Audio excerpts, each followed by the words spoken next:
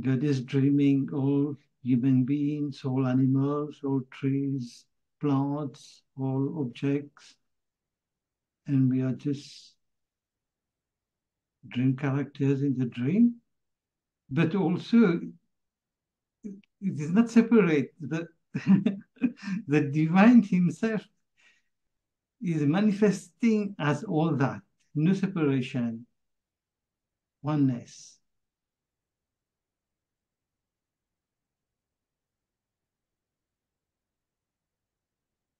Yeah, these characters is what I call avatars, by the way. Yeah. As avatars, the characters, the jivas, are exactly all actors in God's dream. Yeah, yeah, yeah, exactly. But God himself being the actor. yeah. And, and what we what we kind of look into in those satsangs is to see is there this separation between God and me and you just discovered there isn't Yeah. so somehow this God that is dreaming us as our avatars is our very own self is our very own being. We just, as avatars, as the mind, we don't remember that we wrote the script and we hired the director and we are the producer and that we actually even are the, the, the scene and the theater. All of that is our own substance as consciousness, so to speak. So we play this game with ourselves of forgetting. Why? Because it's much more exciting to not know, apparently, while having this avatar, this character, to fully plunge into the dream and play it for a while at least, even as serious and real. But even if not, even if we have seen through the ignorance, even if we understand that God, consciousness, the dreamer, is actually my very own essence. We still may choose, and most of us will choose, still to not know what's going to happen tomorrow in the dream. It's like when you go to sleep at night and you have a dream. If you, it would be very boring if you would go to bed every night and you would know what you're going to dream. It's like, oh no. And it's like, oh, this dream again, or I don't want to, you know. You, you play surprised in your dreams, but you have created the dreams in your own mind, don't you? It's your mind that creates the dream in the night. And while you're dreaming, you play surprised. It's, oh, no, I didn't see this one coming. It's the same here in the big dream. We love to be surprised by our own creation. So we leave it to Ishvara. We leave it to God. We're like, you know what? I voluntarily, as consciousness, as Shiva, I give it to you. You run the show. You are the director. I'm just an actor.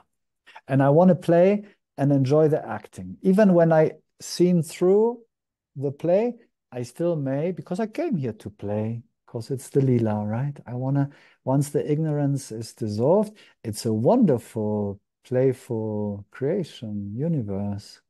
So out of my own interest, I will still leave it to God, to Ishvara, to create all the scenes and everything, and I will be very surprised and I will act out of surprise. You understand? Uh, Yeah, but I see it um, another way. It is not me, but what, I, what other teachers are saying, it is as if God has disguised himself as 1 billion, 7 billion people, as animals, trees, objects, as Pancho and Adrian, but because he wants to have the experience of all these people, animals, and plants and objects. But now, in order to have the experience of Pancho and Adrian, he has to forget himself. Without forgetting himself, he can't have the experience of Pancho and Adrian speaking and asking questions and then giving answers. So somehow he has to forget himself and take limitations to play the role of Pancho, to play the role of Adrian. So, so one teacher said, for example, Pancho is asking a question and Adrian is thinking and giving the answer. But no, it is God asking the question. Yes, yes. Very good, Pancho. I'm very happy you can see that. Because some think like, oh, I am I, I some think Adrian is the teacher and Pancho is the student. But you just exactly said it's not true. There's just one cosmic being, so to speak, one consciousness playing with itself, playing of forgetting, playing of remembering. Absolutely, absolutely true. I sometimes shared this story when I was a kid.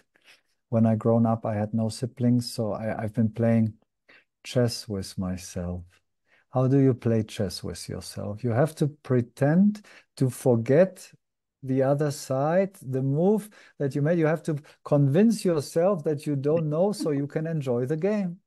Yeah. That's Shiva's mm-hmm. play. That's exactly what's Mr. happening. Bean did it. Mr. Bean was playing with himself. Mr. Bean, yeah. this Wonderful. is a cosmic joke. Cosmic joke. no, it's very serious, Pancho. no. Yes. This is the magic. No, we spoke about this in our last meeting. You might uh, we have the recording available. I spoke a lot about this this magic of apparently forgetting and remembering, and that we are those magicians. It's it's a fascinating thing. But we have to get through the ignorance, the apparent ignorance, because even the ignorance is not real in deeper understanding. But as long it feels real, as long it thinks real, as long it perceives to be real, the separation, the me as a separate entity, as an individual actor with its own consciousness, with its own responsibility, with its own sense of me,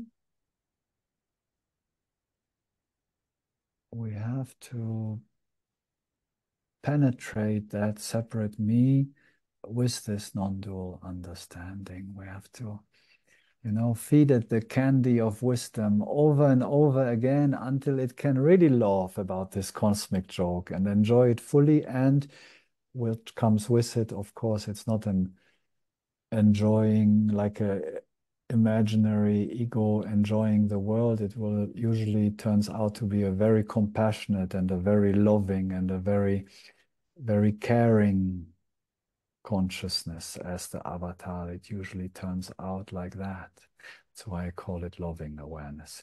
It knows it's a cosmic joke, joke and still cares for its own creation and for those who still apparently are in ignorance and so forth in suffering, it will do it best to alleviate this suffering, which it knows that it's actually not real.